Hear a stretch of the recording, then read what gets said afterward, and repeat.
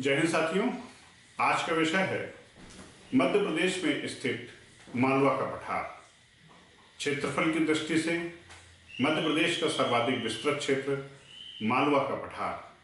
अपनी सांस्कृतिक पृष्ठभूमि रहन सहन खान पान और औद्योगिक विकास के लिए ये न सिर्फ़ मध्य प्रदेश वरन पूरे भारत में एक महत्वपूर्ण स्थान रखता है। प्राचीन काल में मालव योधे जाति से शासित था। मौर्यों के समय में, गुप्त काल में भी इसने अपने वैभव को प्राप्त किया। सम्राट अशोक शासक बनने के पूर्व उज्जैनी का गवर्नर था और विदिशा में उसके ससुराल थी।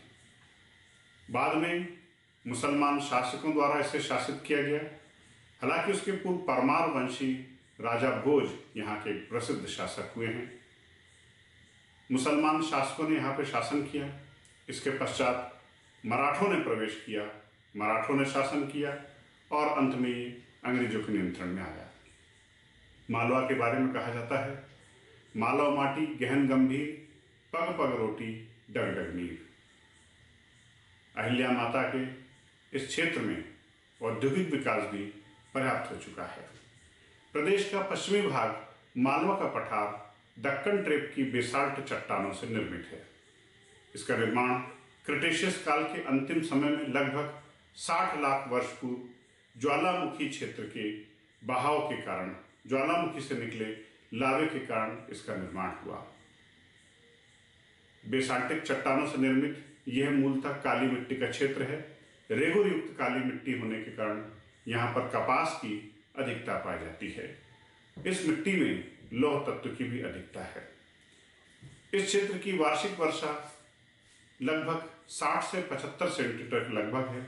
यहाँ यहाँ प्रवाहित प्रमुख नदियाँ हैं। चंबल, माही छिपरा सोनार काली सिंध पार्वती, गंभीर धसान नेवाज, वारना, तिंदोनी आदि।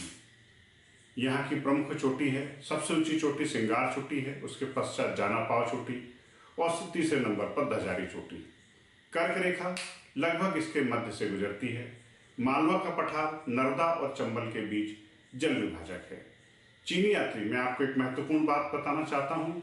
गुप्त शासक चंद्रगुप्त द्वितीय के समय में चीन से एक यात्री फाहयान हिंदुस्तान की यात्रा पर आया था और वो मालवा की जलवायु से बड़ा प्रभावित हुआ था। फाहयान ने अपनी आत्मकथा में मालवा की जलवायु को दुनिया की सर्वश्रेष्ठ जलवायु बताया। कृषि फ़सलों की दृष्टि से मालवा का पठार दो भाग में बटा हुआ है, जिसे पश्चिमी मालवा या पूर्वी मालवा के नाम से जान सकते हैं। पश्चिमी मालवा कपास प्रधान क्षेत्र है, जबकि पूर्वी मालवा गेहूँ प्रधान क्षेत्र है। इसकी औसत ऊंचाई, मालवा के पठार की औसत ऊंचाई लगभग 500 से 610 मीटर है। 17 जिलों से 17 जिलों में यह पठार विस्तृत है, जिनमें सबसे प्रमुख जिला जो है इंदौर है और उसके पश्चात भोपाल और उसके आसपास के बहुत सारे क्षेत्र। औद्योगिक दृष्टि से ये मध्य प्रदेश का सबसे समृद्ध क्षेत्र है। मध्य प्रदेश का पहला स्पेशल इकोनॉमिक जोन विशेष आर्थिक क्षेत्र पीथमपुर यहीं पर स्थित है। पीथमपुर राजस्व जिला धार में आता है, लेकिन औद्योगिक जिला इंदौर में आता है। इसके अलावा झाबुआ में मेघनगर, रायसेन में मंडीदीप राजगढ़ में पीलूखेड़ी शाहजहापुर में मक्सी, विदिशा में गंज बासोदा आदि प्रमुख औद्योगिक क्षेत्र हैं। साथियों, पर्यटन की दृष्टि से भी मालवा का पठार एक विस्तृत क्षेत्र है, एक बड़ा समृद्ध क्षेत्र है। इंदौर के समीप ही उज्जैन एक धार्मिक नगरी स्थित है, जहाँ पर प्रत्येक बारह वर्ष में सिंहस्थ मेले का आयोजन किया जाता है। सिंहस्थ एक बृहद कुंभ मेला है।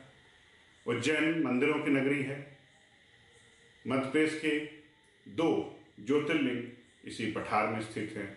एक मानधाता ओंकारेश्वर और दूसरा महाकाल उज्जैन।